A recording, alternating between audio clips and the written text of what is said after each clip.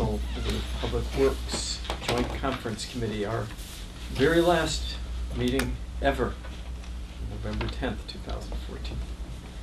And we have a moment of silence. Um, I see no members of the public here, so I imagine no one's going to say anything from the public. Uh, First item of business is uh, the minute, approval of the minutes from October 20th. We'll entertain a motion.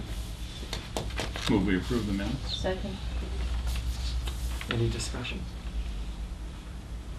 All in favor? All right. Aye.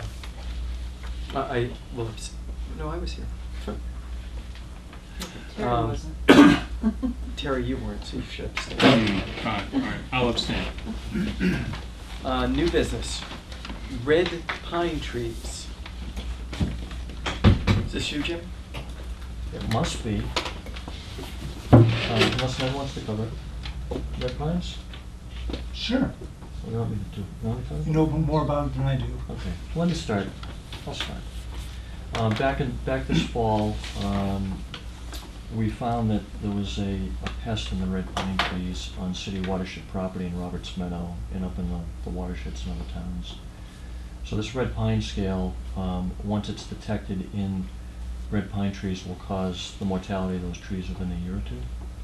So it's caused us to move um, into a direction of um, trying to, trying to develop a management strategy to deal with these because they, they pose a financial risk and a potential public safety risk to the city if we don't come up with a management strategy.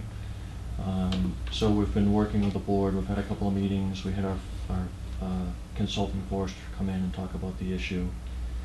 And essentially what we're uh, working on is to- working with our forester to come up with a cutting plan to remove some of the red pines that are still alive so we can capture some of the value, uh, the lumber value of those pine trees. And then use some of the proceeds from, from that to take down some of the trees that are dead that pose a safety hazard. Um, we've been doing, um, quite a bit of outreach. We had a press release on our blog and there was a, a nice article in the Gazette, um, a couple of weeks ago about this that Chad Cain wrote, pretty accurate article about what we're trying to do. We've been on the news, um, describing what the problem is, and Nicole and Ed went, went on a walk this weekend that we sponsored, um, with a forester to talk to people about what's happening with these red pine trees. So, I wanted to put it on the agenda just to take another five or ten minutes in another venue, just to make people aware of the fact that, um, the city has this problem both in Roberts Meadow, which people will see, because a lot of the red pines are in an area that'll be very visible off the street. And then there's also, um, sort of a comparable problem up in more remote watersheds that the city owns, but, um, nonetheless, that was my ten-minute spiel about that, which I'd be happy to answer questions on, if there are any. S- So the financial issue is, once the trees are dead, they have no value. If we can harvest them while they're alive, we'll actually make a few bucks. Or we wait and then we just have to pay for them. So it's, Mm. a little bit of a time crunch. Next fall, we wouldn't be able to have this conversation. It'll be more like an expense then.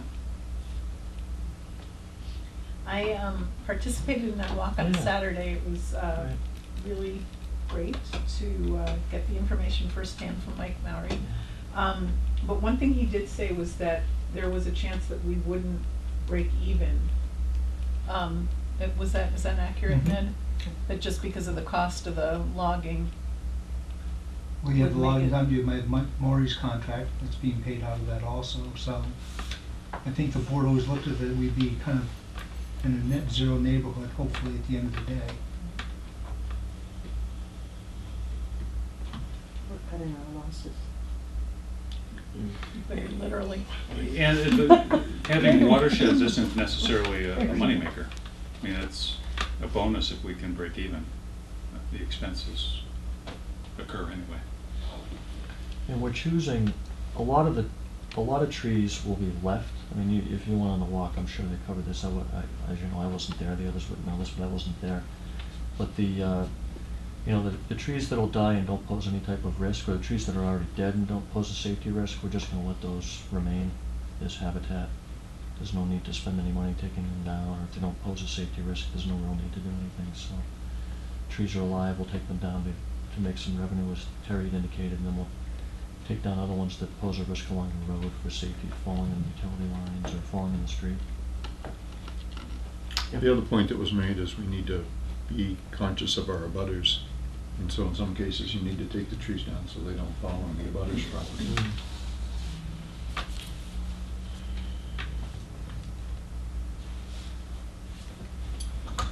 Anything else on this? So the idea is, well, if I may, Yeah, well, I guess yeah, one go more ahead. thing. Yeah, go ahead. Um, So the idea is, before we run into a problem like we did last year, where uh, people were raising the alarm about some cutting that they could see, trying to make sure councilors are aware of it, you're not surprised, caught by surprise. Um, As with last year, we feel, once it begins, we can readily explain why. I think it was the surprise factor that was the problem last time. So you're trying to cut it off at the pass. There you go, yeah. It's our last meeting. Yeah. Nip it in the bud. Anyone else? Yeah, get rid of it. Okay. Uh, crosswalk policy. How did that show up here? I thought we resolved that last time. Do we continue that? We never Jesse, do we resolved. continue? It's never never been resolved. resolved. What's that? It's never been resolved. Right, it's never been resolved. What's that? Sorry. So maybe we left it, Section uh, is not. Jasper was here, the board, BPW has accepted the wording of the new policy, which is indicating the Oh, I'm sorry. Talking sidewalks, Right. not crosswalks. Cross, Yeah. crosswalks, not sidewalk. That's what I was thinking too. It was like. Crosswalk is resolved, sidewalks are not, right? Obviously. Uh, the last meeting, Jesse, when you asked why crosswalk wasn't on the agenda, We asked to put right? on this. Yeah. Right, Yeah. so that's not resolved. That's That's not what- that's resolved. what that's Gotcha. not resolved. Sidewalks are. Sidewalks. So I was making the Sidewalk same obstructions mistake. are Okay. resolved. Crosswalks So- are not, whatever I said. And that's what we're on, is crosswalks unresolved. Now, do you want to go back to Jasper? And- No, that no, was I the- think we're done with Jasper. I- I- Okay, I so he's all set. the crosswalk was about the painting of the crosswalks, correct? Yes. The board issued a moratorium. We're not accepting any further appli- applications for this. Uh, And it stands there. With the new change of the board's role, do, do decisions like that remain in the You hands of the board, or they No, come the- back to the the board council? makes no decisions. Uh, the- If I understand it, the department can make a policy or we can make an ordinance. and Okay, I so the think- department could still make a policy on the advice of the board. The board makes recommendations. Recommendations, Right. and, but they can make a rec- recommendation to you. Mhm. You could set policy, or it could come to the council. Right. Who decides that? Well, I mean, I, I think, you know, if councilors wanted to just, someone wanted to draft an ordinance, they can draft it and present it. That's how the council would do it. Okay. And they could do that, you know, a councilor, a group of councilors, or with, with the, the department as, as a co-sponsor, or even with the board, well, I guess they could do it with the, with the board as a co-sponsor, but maybe they can't anymore, I don't know. But, um, but it still could be co-sponsored with the department, I guess. So you do have something now, a policy that's, a moratorium. We have a in moratorium policy, yes. Okay. I mean, we, we were thinking about discussing it in this committee, but I don't think it makes any point, I don't think there's any point in doing that now. Yeah. Well, effectively, we have a recommendation of the board from the DPW. That's right, that's true, that's true. So if any councilors want to pick up on this, or you come up with a policy, or then we'll watch with bated breath, which is a, not a good use of language. Okay. Uh, the next one, obstructions of, on sidewalks, I thought that was resolved. It was. We're just Just closing the final updating. loop on it with you, Okay. because the board met on the uh, October twenty-second and approved the language. Okay. So it is now a policy. It's kind of going full circle back to you, let you know that it's been taken care of. Okay, Thanks, Dave. Yeah. thank you.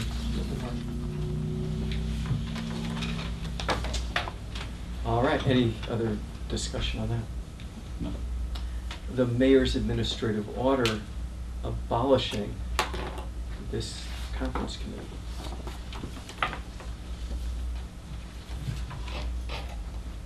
Yes. We have, Yeah, I- that's what's happening. He- yeah, he- We could take a vote of non-recommendation, but, or, Well, I, I, uh, I drafted a, committee structure that's, it's similar to some of the other council committees we have. I was explaining this last time, I think. It's gonna be a public works committee, but it's not gonna be like this.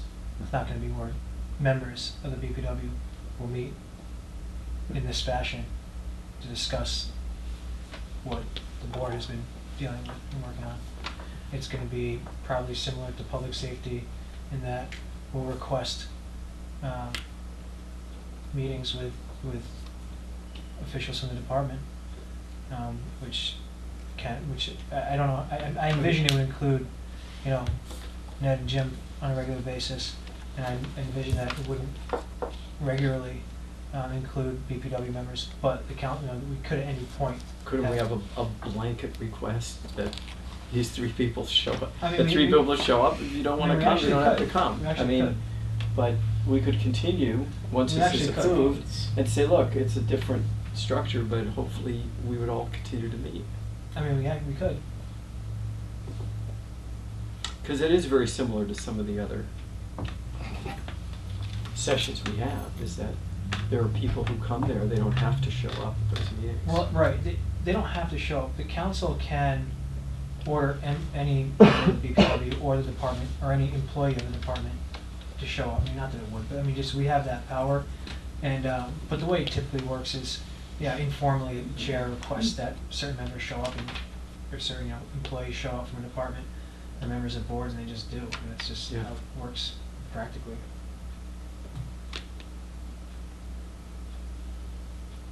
It's a So, brave so new we world. hope, well, how long do you think it'll take to, we have to move this through the council?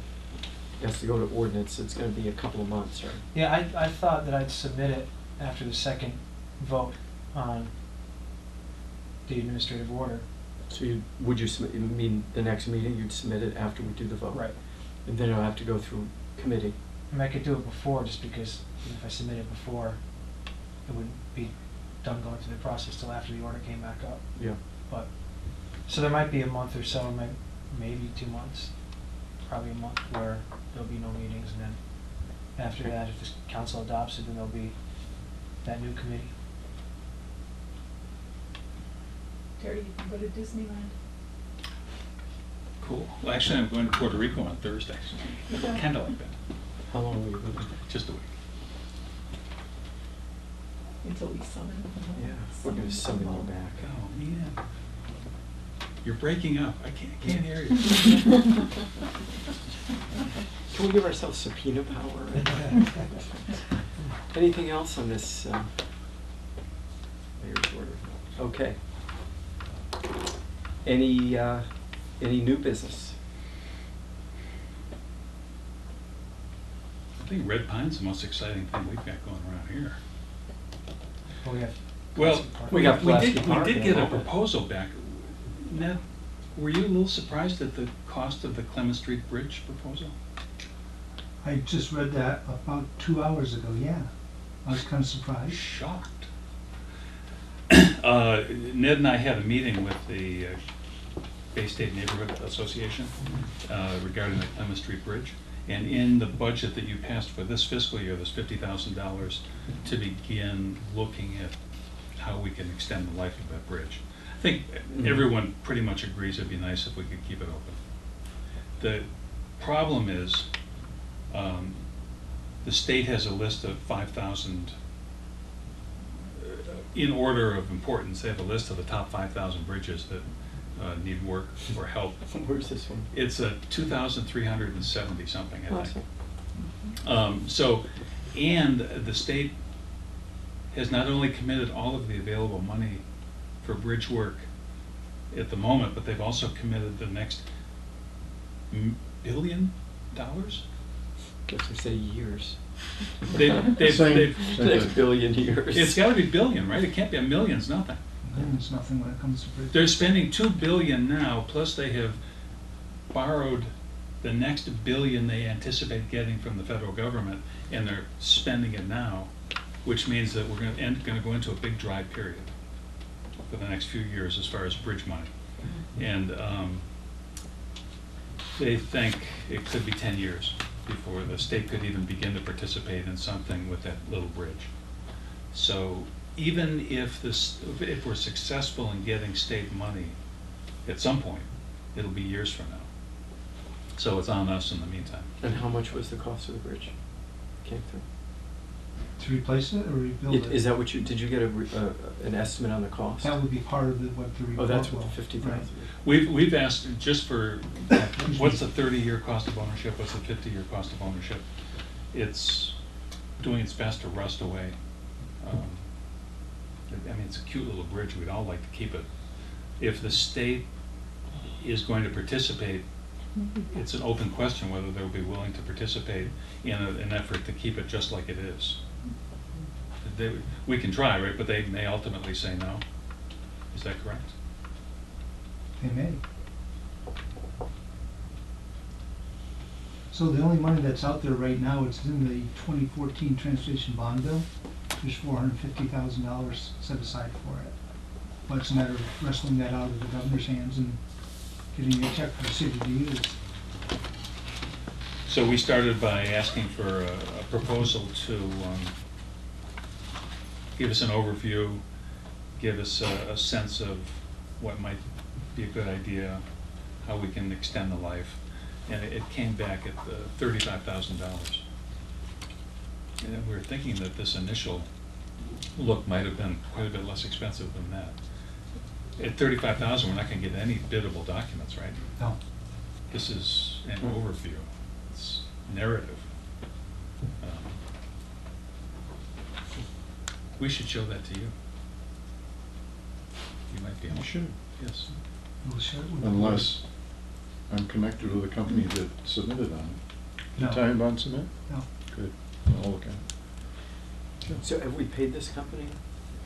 In the haven't past paid we them No, have, but not. this is their It's just- bid. Right. Since there's probably no money to do any work for a long, long time, is it possible to have something like the Smith Engineering School take this as a project? I know that's not an official thing, but even as just kind of like, uh, we'll get some research done on, because nothing's gonna happen on this bridge anyway, right? Well, there's the money in the transportation bond bill. And so it's, it's, it's met the first hurdle, it's a, Oh, it's, okay. in, in, in theory, it's available. Getting it released is, There's a, Go ahead. a lot of those projects never see the light of day in that bond bill. And we have a new governor right here. he'll be a spender.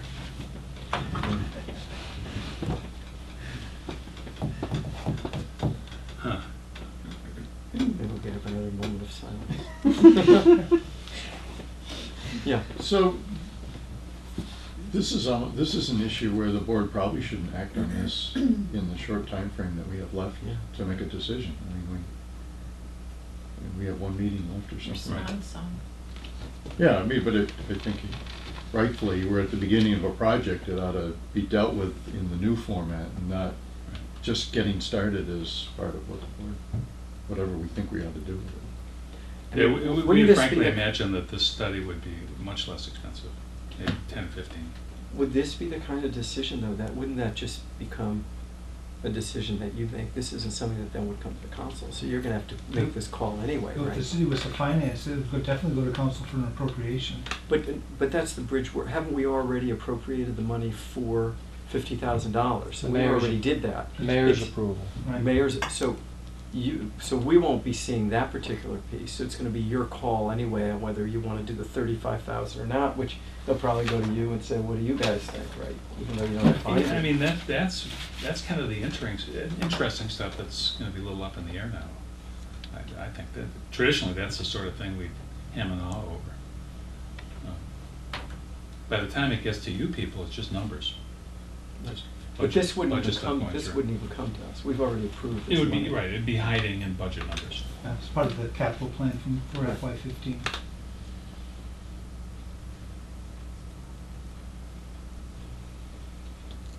All If right. the state money doesn't come through, wha- one reason I was hoping to get a thirty or fifty-year cost for the bridge is if the state money in the transportation bond bill doesn't come through, then I was hoping to be able to come back to you people with a number. Two hundred thousand dollars, or whatever that number is, to keep that bridge alive while we wait to see what would happen in the long term. And that would, that's general fund. At, at some point, you, you've got to weigh, Yep. does it make sense to keep that bridge open for X amount of money? And is that, if it's, if it's money that the city is planning to spend on pavement, is that the best use of that?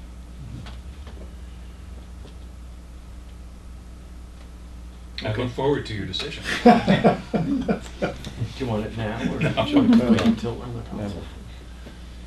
Should we move on? Go ahead. Just a quick question, so the study, um, will tell us ho- what kind of lifespan this bridge might have if it is not touched?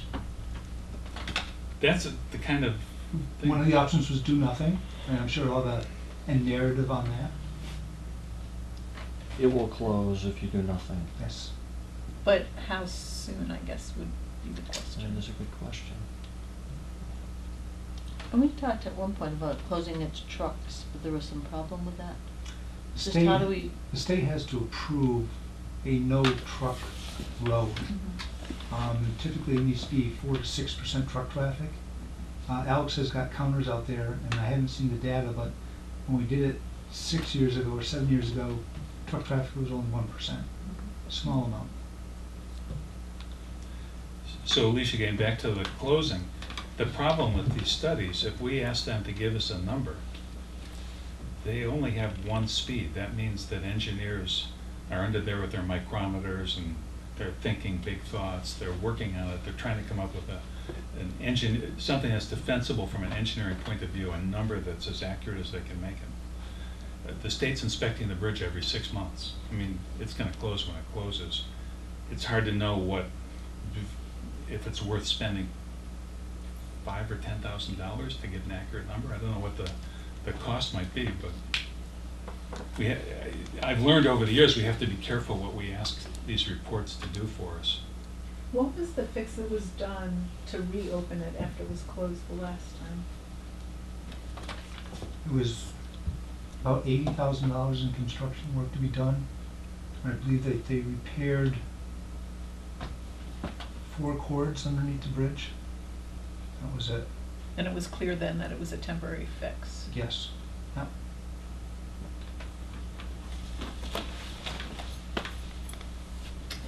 Anything else? And on to our last item. Is this an update on Pulaski?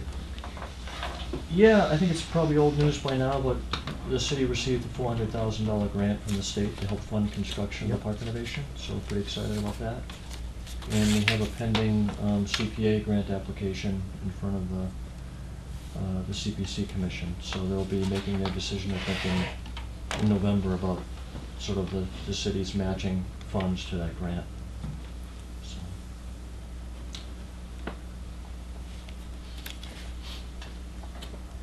Good. The process is kind of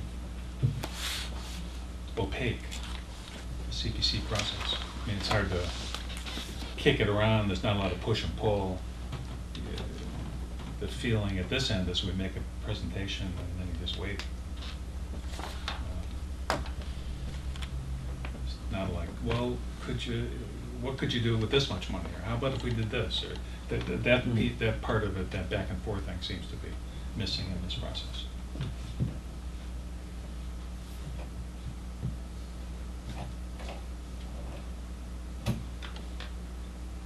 Motion we adjourn? Second? All in favor? Aye. All right. Aye.